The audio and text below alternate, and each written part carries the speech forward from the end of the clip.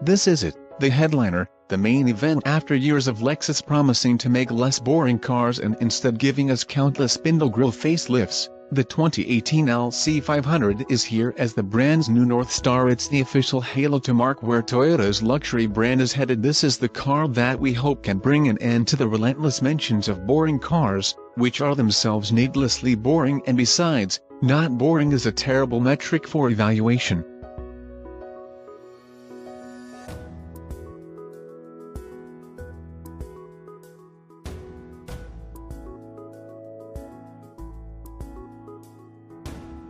What Lexus is really trying to do is give its cars some spirit, to transcend the paint-by-numbers stereotype that made this brand the luxury juggernaut it is today by that yardstick. The LC500 is a success simply based on how it looks it's beautiful in a way that we couldn't predict from the 2012 LFLC concept that foreshadowed it the kind of beauty where instead of reflexively grabbing your phone to take a picture, you just stand there and keep looking and pictures don't do this car justice, anyway they soften the edges and reduce the massive draw of the wide shoulders.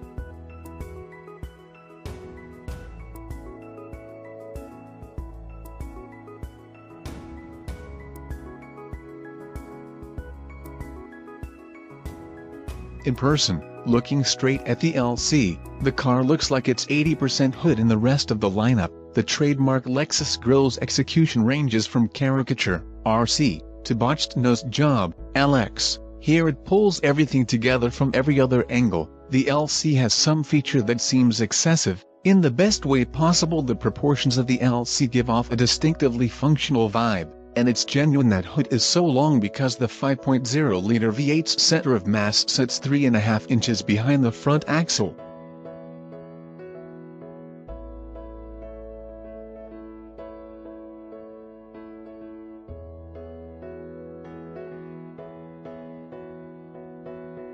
The extra space up front is mostly empty. Lexus uses high-strength steel cross braces to shore up torsional rigidity instead of adding structure ahead of the front wheels, and the battery sits under the trunk floor for all the visual excitement. The LC is still a conventional vehicle aside from some advancements in the LC500H's hybrid powertrain. The innovation here is of the iterative type it's interesting, in that Lexus is betting on emotional appeal and driving character at a time when the future relevance of both is up for debate.